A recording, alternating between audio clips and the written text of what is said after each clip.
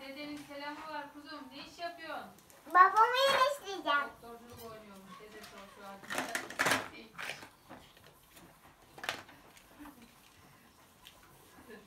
Şu an doktor olmuş kendisi.